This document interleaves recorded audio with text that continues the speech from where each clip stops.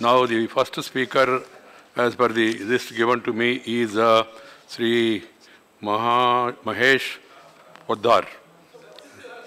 What it, what it, what it, please, no, no. बाद में मिलेगा आपको He will explain. He met you personally and explained, but he will explain in the house also.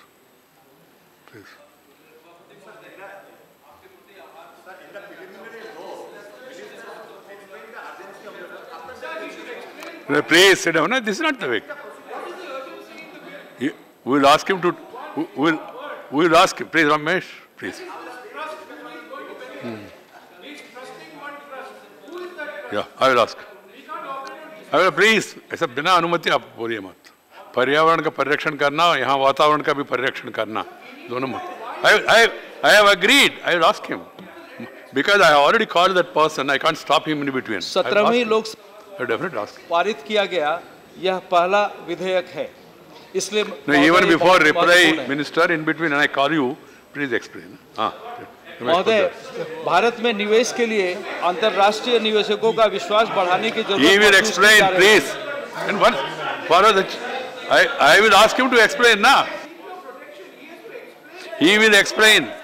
ये तीन लोग खड़े होकर फिर अब तीन लोग तीन लोग खड़े होकर ऐसा कहे तो मैं क्या करूँ? You have to explain how how can three people speak at one time? One can speak. I will be. I, please, please, please.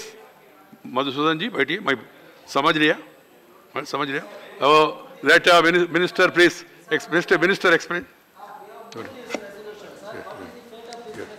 No, no, that will be decided afterwards, no? after discussion. Yeah. Honorable Chairman, sir, You are not giving total reply. Ah, Not a- only- ah, please, not a because reply. discussion is. uh, this, uh, just to give a little perspective, the special economic zones earlier were being uh, operated through rules that were formulated until 2004.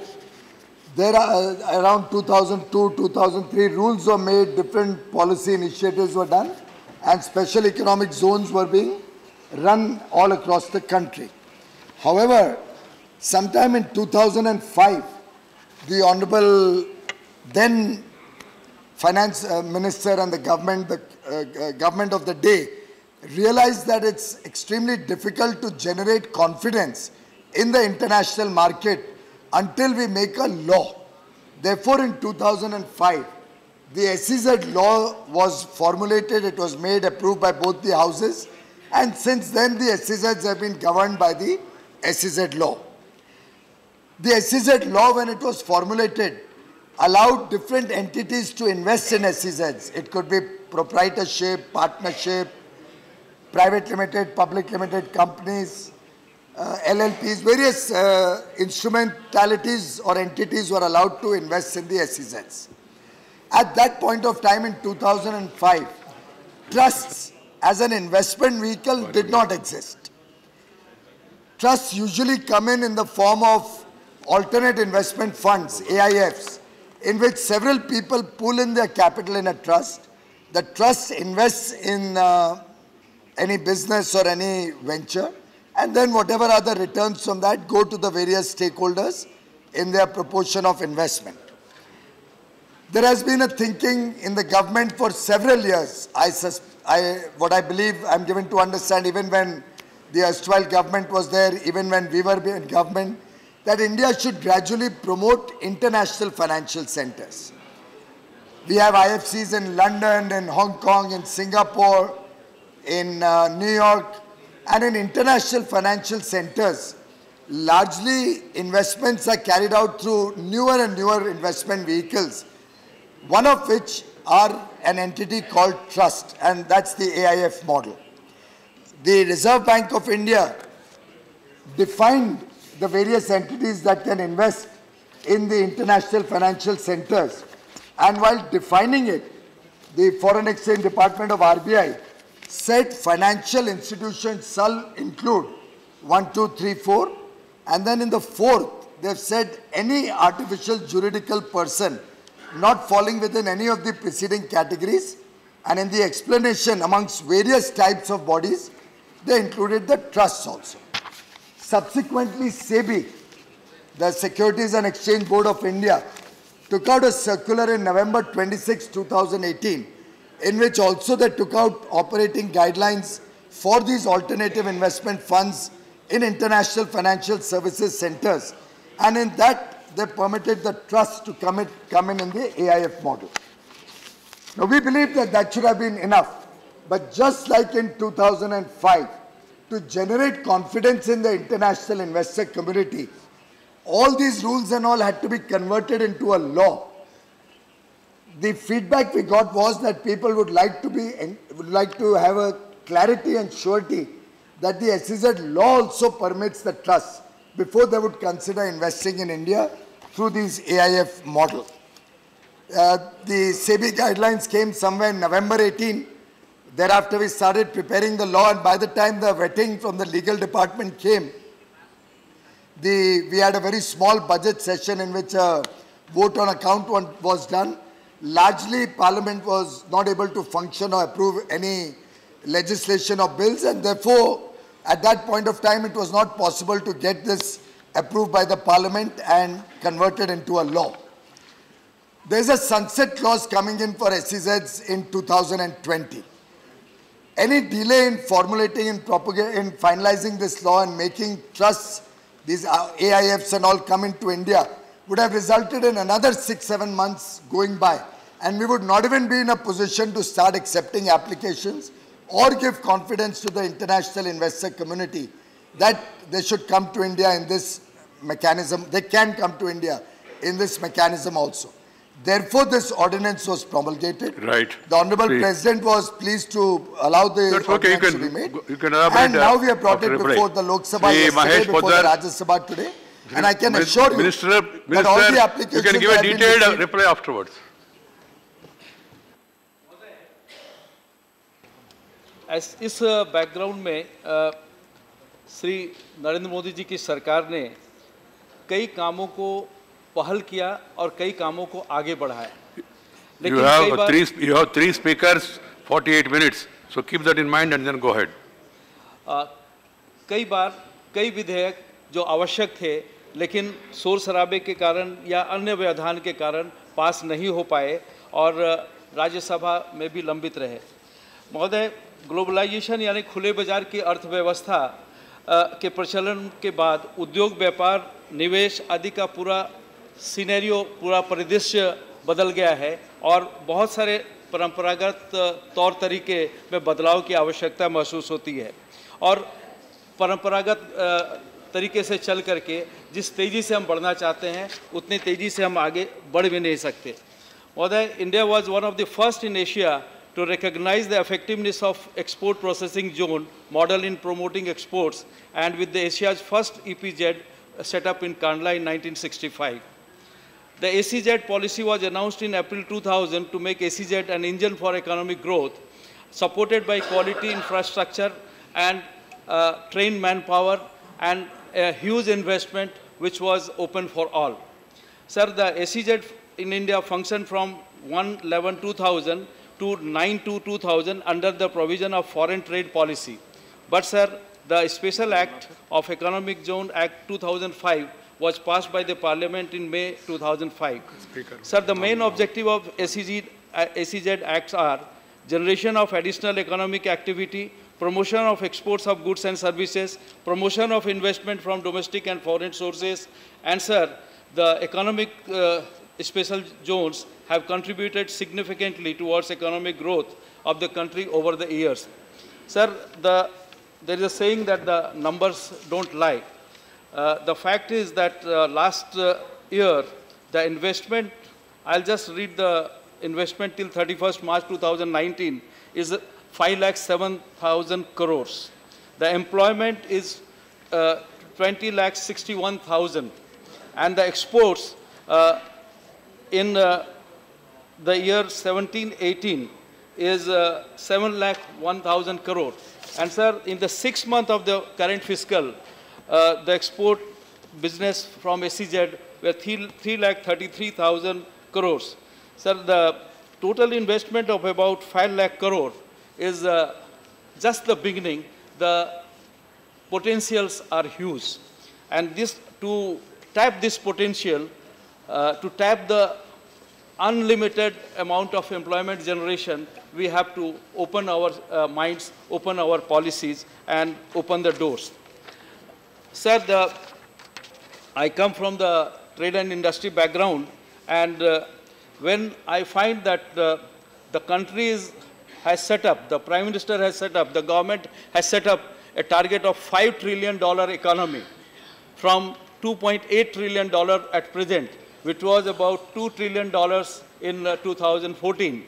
And if they could do from 2 to 2.8 in last five years, there is a need to run faster to reach the objective of $5 trillion in next five years. And for that, we have to uh, change many things and we have to change it fast. Sir कुछ लोग uh, शक कर सकते हैं कि वो uh, ये संभव है या नहीं लेकिन महोदय मुझे कुछ दिन पहले uh, सौभाग्य से ब्रिक्स कंट्रीज़ का पॉलिटिकल कंसल्टेशन में भाग लेने का मौका मिला था जहाँ मैं अपनी पार्टी को रिप्रेजेंट कर रहा था वहाँ पे जब मैंने बताया कि इस देश में सारे घरों में करीब करीब शौचालय बन गए हैं and that is about nine to ten crore से एवरीबडी वॉज़ शॉक्ड कि how it is possible to do it in five years. But sir, when we can do it, uh, this five trillion dollar is again is not impossible task and very rightly said, Modi hai to mumkin hai and for that we need support of everybody, every section of the society including all the political parties. Sir, ये उस दिशा में प्रस्तावित bill है, जिससे कि अधिक निवेश और अधिक प्रकार के निवेश, अधिक लोगों के द्वारा प्रावधान किए जा सके। Sir there are S C Z to provide hassle free environment for export and replicate China success in using S C Z to boost the economy and boost the manufacturing and employment sir when we hear that China has become uh, factory of the world, we feel that uh, we don't feel inferior. Rather, we feel that we can also do it and we can do it better. And I think, sir, with these kind of changes, with this kind of initiatives, we are opening our doors to make these uh, major uh, changes. Sir, SEZ benefit from the strong connections they have with the hinterland. These connections are essential for lowering logistic costs, increasing export competitiveness. The current policy of integrating existing coastal SEZ into overreaching plan of coastal development under Sagarmala can lead to a turnaround for SEZs. Sagarmala focus on back-end connectivity with the hinterland is what many of the zones have needed and they have expressed that this is what was lacking so far. Sir, जैसा कि पूरा सदन अवगत है कि भारत की वर्तमान विशेष आर्थिक क्षेत्र नीति अध्ययन रिपोर्ट तत्कालीन वाणिज्य और उद्योग मंत्री सुरेश प्रभु को सौंपी गई थी। इस निधि अध्ययन रिपोर्ट को तैयार करने के लिए बहुत अच्छे, अच्छी निर्णय हुई थी कि देश के प्रसिद्ध उद्योगपति, भारत फोर्स के चेयरमैन श्री बाबा कल्याणी जी की अध्यक्षता में ये समिति ने रिपोर्ट बनाई थी। और इसको आकलन करके डब्ल्यू को एक कम्पिटेटिव और कम, आ, के मानकों के अनुरूप बनाने के लिए सुझाव दिया गया था और उन्होंने बहुत अच्छा काम किया और रिपोर्ट बना के सबमिट किया गया। इस रिपोर्ट में कहा गया है कि भारत को वर्ष 2025 तक पाँच लाख करोड़ डॉलर की अर्थव्यवस्था में तब्दील होना है तो मैन्युफैक्चरिंग सेक्टर के साथ साथ कम्पिटिटिव एबिलिटी के साथ साथ सर्विस सेक्टर से जुड़े मौजूदा परिवेश में भी बुनियादी बदलाव सुनिश्चित करने होंगे। साथ ही आईटी सेक्टर और इससे जुड़ी सेवाओं के क्षेत्र में मिली कामयाबी को स्वास्थ्य सेवाओं, वित्तीय सेवाओं, ये बहुत महत्वपूर्ण है महोदय। वित्तीय सेवाओं में अभी हम काफ़ी पीछे हैं, जिसमें काफ़ी संभावनाएँ हैं और लोकसभा में भी इसकी चर्चा बहुत विस्तार में की गई थी। और इससे जुड़ी बनमत और डिज़ाइन सेवाओं को, अन्य सेवाओं को भी इन क्षेत्रों में, सेक्टरों में प्रावधान करना होगा। इसके अलावा रिपोर्ट में कहा गया है कि विनिर्माण विनिर्माण क्षेत्र में तेज़ी करने के लिए हमें आवश्यक कदम उठाने होंगे। सर झारखंड जैसे बताया गया है कि देश के केवल चार पाँच राज्य हैं जहाँ एस नहीं है, जिनमें झारखंड एक है। महोदय, ये पहली बार देश में हुआ है कि अपने पड़ोसी देश को बिजली देने के लिए एक जेड का निर्माण झारखंड में किया जा रहा है, जिसमें कि 425 हेक्टेयर क्षेत्र में 14,000 करोड़ रुपए की एसी जेड परियोजना को मजदूरी मंजूरी की गई है। सर उम्मीद की जाती है कि 17-18 वर्ष के क्षेत्र के बाद इस क्षेत्र में काफ़ी उन्नति होगी।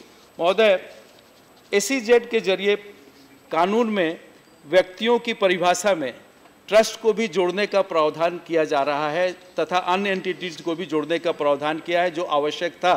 और आवश्यक है, क्योंकि दुनिया में बहुत तरह तरह के लोगों के द्वारा निवेश किए जा रहे हैं और उनकी कानूनी पोजीशन जो है एक अलग अलग होती है और संभावना है कि इसमें वैकल्पिक निवेश फंड का चलन आया है, जिसका मौका भारत को भी लेना चाहिए।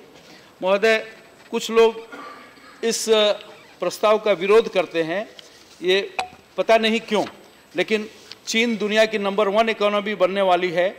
अमेरिका को पछाड़कर कोई 20 वर्ष पहले सोच भी नहीं सकता ऐसा संभव होगा। रूस नहीं पछाड़ पाया, जबकि सेकेंड वर्ल्ड वॉर में उसके पास में सारी टेक्नोलॉजी थी और वो भी एक साम्यवादी देश था। लेकिन अचानक चीन उछला और शिखर पे जा पहुँच रहा। है ऐसा क्यों हुआ, जबकि वो भी एक साम्यवादी देश है? महोदय, उसने अपनी उन्मुक्त आर्थिक व्यवस्था और उसकी उन्मुक्त नीति ने खुली पूंजी निवेश बड़े बड़े एसीजेड से मिलते जुलते औद्योगिक प्रांगण बनाए। लाखों छोटी मोटी फैक्ट्रियों ने भी दुनिया भर से तकनीकी ज्ञान ला करके वहाँ पे उत्पादन करना शुरू हुआ। महोदय, अपने श्रम को चाइनीज़ लोगों ने पसीने में बदला और अपने पसीनों को उन्होंने डॉलर में बदला। चाइनीज़ कम्युनिस्ट होते हुए भी वो इस चीज़ से नहीं बंधे कि कौन निवेश कर रहा है और कितना निवेश कर रहा है, उसका स्वामित्व क्या है। महोदय मेरा सौभाग्य मैंने चाइना में कई ऐसी जेड देखे हैं लेकिन ये भी सुना है मैंने देखा नहीं कि कई ऐसी जेड ऐसे हैं जिनके अपने एयरपोर्ट्स हैं। ये ऐसी कई एक ऐसी जेड ऐसे हैं जिनके कई शहर हैं और ये सारे लोग विदेशों में उत, के लिए उत्पादन कर रहे हैं और पूरे देश में अलग अलग चीज़ों के निर्माण के लिए देश के विभिन्न क्षेत्रों में अलग अलग चीज़ों के एसी जेड बने हैं और मैं समझता हूँ कि भारत में भी ये संभव है। हमारे पास महोदय युवा शक्ति है लाखों लोग हर वर्ष इस सरकार के प्रयास से कौशलता के कार्यक्रमों द्वारा कुशल कामगार बन रहे हैं। ये भी अपना अपने को पसी अपने पसीने को अ, श्रम अपने श्रम को पसीने में और पसीने को डॉलर में बदलना चाहते हैं। बस हमें इनको एक मौका देना है और रोज़गार देना है और रोज़गार के नए अवसर देने हैं। महोदय ये संभव है कि कुछ दुरुपयोग की संभावनाएँ व्यक्त की जाए लेकिन मैं मानता हूँ कि आज के दिन में सरकार ये दुरुपयोग होने नहीं देगी, नियंत्रण रखेगी। Sir I appreciate the measure taken by the government to boost the economic power house that an A C Z is and sir it is expected that this will trigger a large flow of domestic investment in A C Z in infrastructure and productive capacity leading to generation of additional economic activity and creation of employment opportunities I urge the members of this house to support this uh, bill and support even afterwards. Thank you. Thank you.